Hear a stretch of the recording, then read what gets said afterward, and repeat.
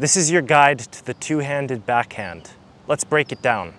Firstly, we're gonna get in our ATP ready position and make a unit turn. Notice how I didn't just pull the arms back, I turned my shoulders, my hips, and my toes together. And all I did was make a grip change. The butt of the racket stayed in line with my belly button. When we turn, you wanna get your right arm, I'm a right-handed player, so do this in reverse if you're lefty. Your right arm is gonna be relaxed and loose, but against your chest.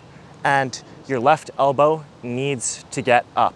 This part is extremely crucial. I see a lot of people set the racket down here by dropping the elbow, and this is gonna cause you to get your strings pointing to the sky at contact point. So we get the elbow up here at a 90 degree angle, this way and this way, in order to keep our strings closed.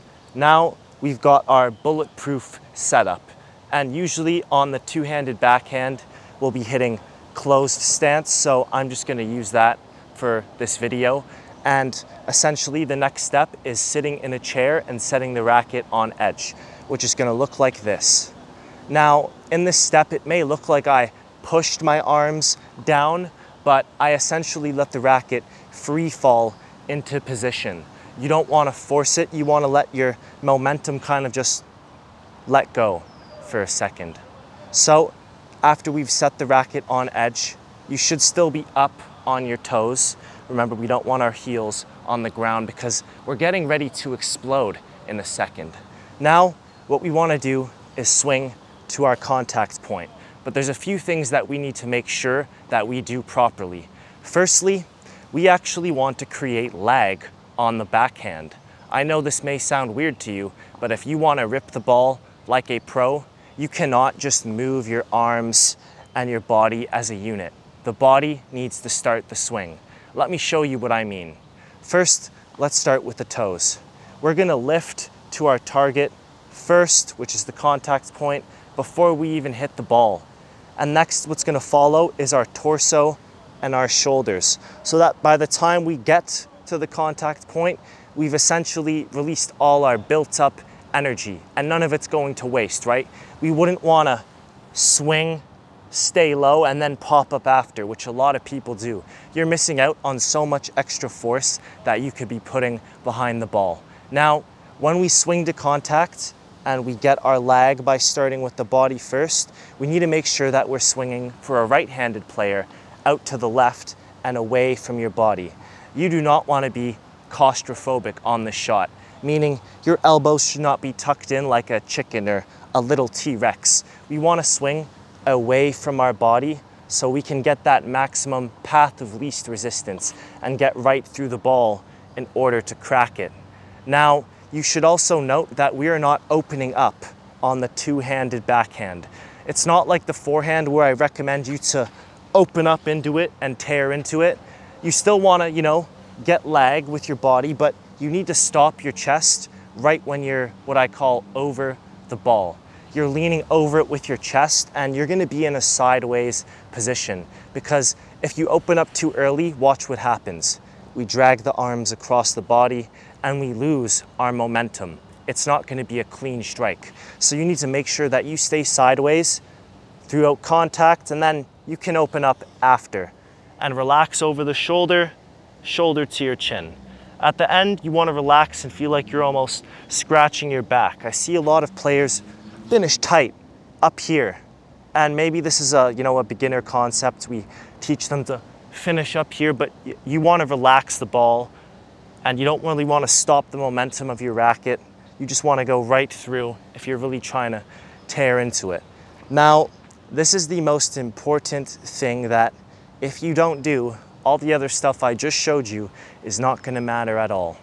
You need to imagine the two-handed backhand as a left-handed forehand choked up on the grip. Let me show you what I mean. This is my left-handed forehand, and this is my two-handed backhand. Now, what I'm going to show you is the most important concept, which is gonna get you ripping the ball. When we swing with both hands on the racket, we need to be swinging from the left side and not the right, meaning that my right arm is gonna have zero tension in it. It's essentially here for like to provide a little bit of extra support and almost guide my racket from point A, which is right here, to point B, which is the end of the swing. But we wanna do all the work with the left side. Now, it's gonna be, boom, getting behind the ball and over it with your left shoulder. Not the left lower arm, because remember, we don't swing with the lower arm. We swing with the torso, the chest, and the shoulder, and we want the arm loose so that it can almost fly out of our socket. That's what I say to my students. Feel like your arm flies out of its socket.